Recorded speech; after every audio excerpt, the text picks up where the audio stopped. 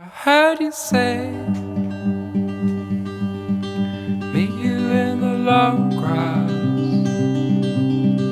Something good at long last. When we're away.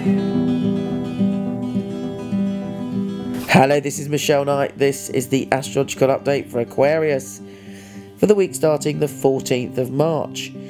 I have a little bit of jet lag and a stinking cold, which is why I'm not on camera. Having said that, I am very eager to deliver your exciting weekly astrology because there is so much going on. On the 14th, it's just unbelievable the things that are occurring and the different energies that are around. Can be a little bit disconcerting, but it can also be very revealing.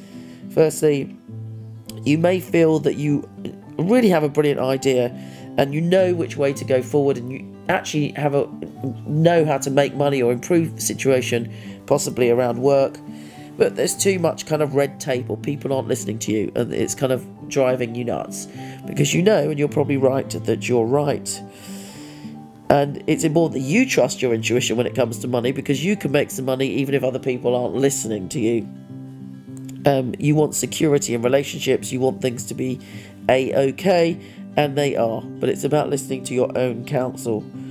On the 14th, the Grand Earth Trine is allowing you to go through a cycle of healing when it comes to your home and your family.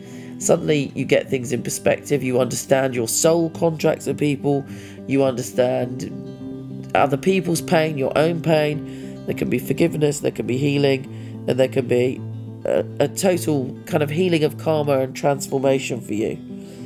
On the 20th, it's a time when you feel much more confident about your ideas. And let's face it, you're an ideas person. You can be a bit of a genius when you're totally tuned in. There have been times in your life where you've had brilliant ideas and it's changed the, the direction of where you're going. And, and this week, actually, you there are lots of ideas to be had, but also fundamentally, for some reason you're healing your sense of security in the world. It could be your your finances are being healed. It could be your sen- your self-confidence is healed. But you're able to stand much stronger and much more grounded. On the 20th we're all having a bit of a spiritual awakening and for you it's about finance and security. But it, it kind of ends up giving you something. You feel in your heart a deeper trust in the universe. Take care and i'll speak to you soon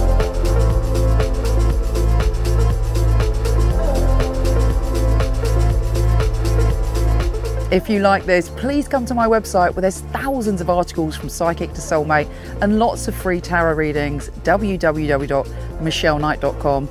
And for all the written astrology of this month, week, or even day, go to horoscope.co.uk. Take care.